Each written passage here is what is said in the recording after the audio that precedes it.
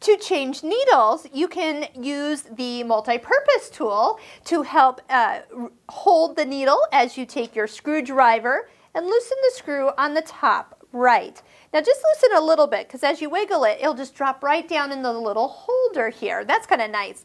Also too, if you need to lower down that presser foot, that can give you a little bit more room. Put your new needle in and always have a presser foot on when you go to do this. It kind of gives you a location of where that needle is going to sit. And then go ahead and bring it all the way up to the top and then tighten the screw. Once you've put a new needle in, I always recommend that you use the needle threader when you go to re put the new thread in because if the needle does not get high enough, the needle threader will not line up. So that's clue number one. Something should be uh, fixed before you start sewing with a needle a little too low. Uh, just remember to make the foot uh, bring it back up to the highest position before you thread the machine. Change your needles for every fabric and project that you do. There's lots of different needles out there. Make sure that the needle size matches the thread thickness you're using. So thinner thread, you need you can use a thinner needle, but if you have a medium to heavy thread, you need to use a